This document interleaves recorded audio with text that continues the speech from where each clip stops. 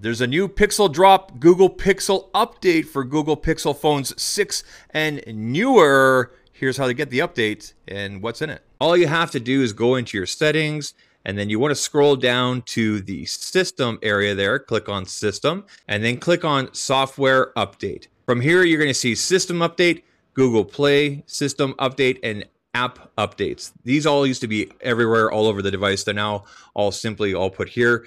Easy to find, easy to update everything. So go ahead and click on system update. And from here, your phone is going to go ahead and look for the update. As you can see, mine already is. You can click on this link right here. This will open up a browser where you can scroll down, click on the September 2025 update, and you can scroll through and you can see which devices are updated. As you can see here, Pixel 6 all the way up to Pixel 10 Pro XL, including Pixel tablet and Pixel Fold devices. And then you can also see what is included. So you can see here we have audio fixes, battery and charging, biometrics, Bluetooth, camera, display and graphics, framework, kernel, system, telephony, user interface, and of course, compatibility is also listed at the bottom here for specific sections.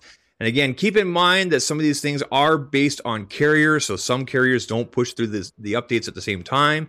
If you got your device directly through Google, you should be getting this update right away. So let me know down in the comments section what device do you have and did you get the update? And let me know if you have any other questions or comments. Take care, cheers, and happy Pixel Update Day.